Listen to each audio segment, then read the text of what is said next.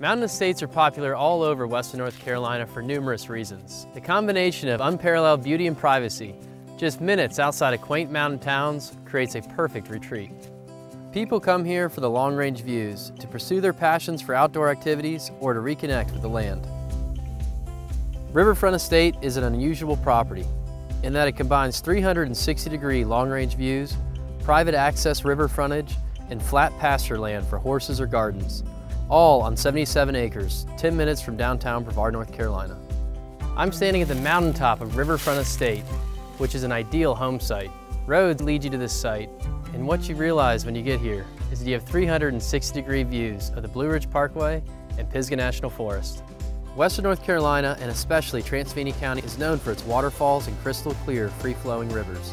The East Fork of the French Broad River is one of the most popular due to its beauty and the fact that it's one of the most heavily stocked rivers in the region. This five mile section of river is stocked with over 16,000 rainbow, brook, and brown trout every year, turning this into one of the hottest fly fishing destinations in the Southeast.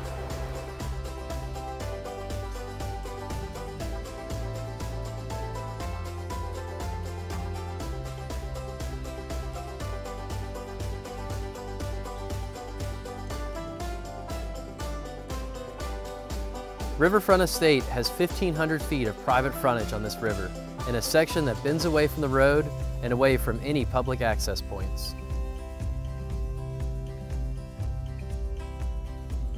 Most mountaintop properties are too steep for equestrian or farming activities.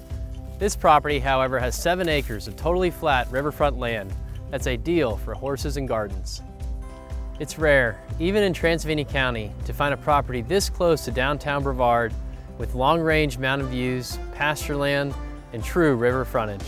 Schedule your showing today of this amazing property while it's still available.